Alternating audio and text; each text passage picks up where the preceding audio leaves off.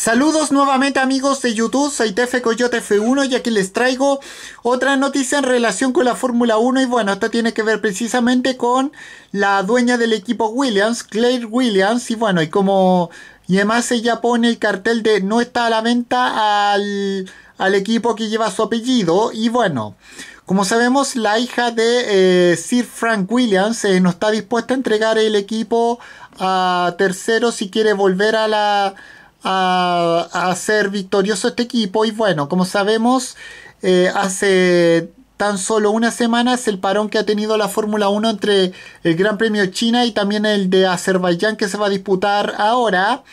Eh, se está disputando y bueno, eh, se vinculaba al empresario Dimitri Mazepin ante la posibilidad de que pudiera comprar el equipo Williams todo ello bajo el objetivo de abrir las puertas de la Fórmula 1 a su hijo Nikita, que, actualmente está en la Fórmula 2 con el equipo RTGP.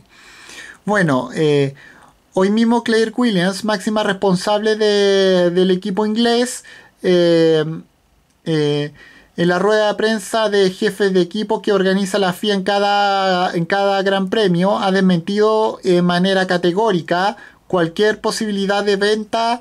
Eh, de hecho, eh, cuando todo hace pensar que la primera la atención la acertaría, la centraría lo ocurrido con el joven George Russell en los primeros entrenamientos libres. La primera de las preguntas era la, era la que presentaba la duda sobre la posible venta al equipo.